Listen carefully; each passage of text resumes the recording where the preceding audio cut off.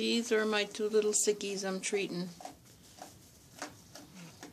Little bits on the right, and Miss Wayward on the left. She can't get up, but she's been trying, which is more than what she was doing yesterday. Uh, they're looking much better.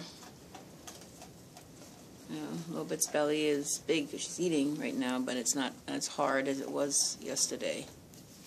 That's a little enclosure I made using what I had in here.